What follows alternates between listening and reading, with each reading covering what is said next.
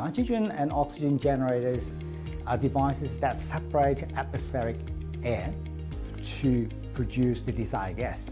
So for example, a nitrogen generator will ingest compressed air and it produces high purity nitrogen gas. Typically, it can produce from 95 up to about 99.999% purity. So for oxygen generator, typically it's between 95 to about 98% purity oxygen.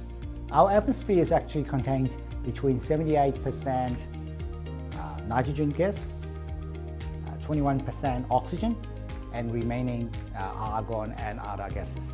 Well, knowing that there's so much nitrogen and oxygen already exist in the atmosphere, why not produce your own gas on site?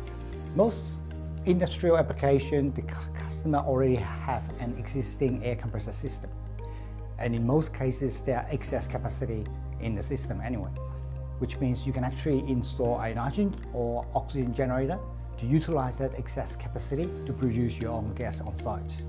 Now, the number of benefits involved in uh, generating your own gas on site obviously that you will not have any more rental for your uh, bottle cage, bottles, uh, liquid system in terms of evaporator or storage tank, no more transportational fees, delivery, no more handling of bottles on site, which can be a hazard, and uh, you don't have a shortage if you have a peak demand, so that because you're actually producing your own gas on site.